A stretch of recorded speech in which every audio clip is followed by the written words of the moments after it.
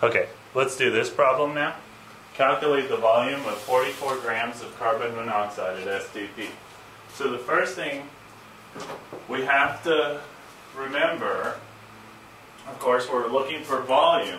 So volume of any gas at STP, we know a conversion factor for that from moles.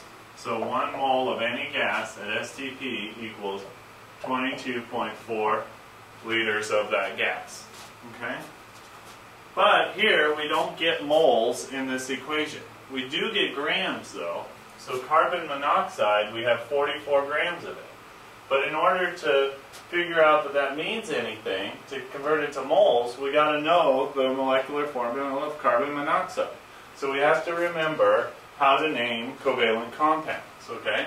So carbon monoxide has one carbon and one oxygen, okay?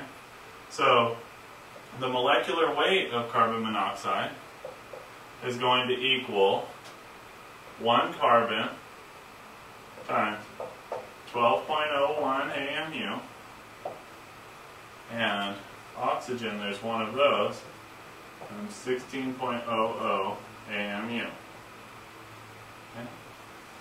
So if we add 12.01 plus 16 together, we get 28.01 AMU.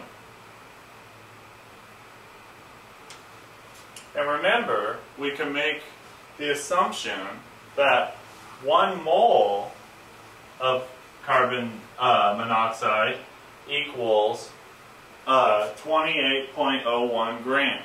Okay? So we know that the molar mass of carbon monoxide equals 28.01 grams per mole. Okay? So let's figure out the number of moles of carbon monoxide we have then. So number of moles of carbon monoxide, remember N means moles, but we know the mass of it, 44.0 grams, and we know the molecular weight, or the molar mass, so all we got to do is multiply that by 1 mole over 28.01 grams. Grams then cancel, and that gives us the number of moles.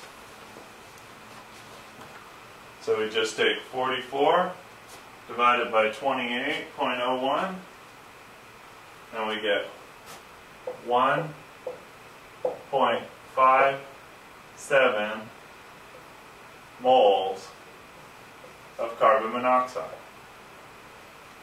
Okay? That's the three sig figs, of course. And then we know, well, we've got the number of moles here, and we've got this conversion factor, one mole equals 22.4 liters. So the volume of carbon monoxide is going to be the number of moles, 1.57 moles,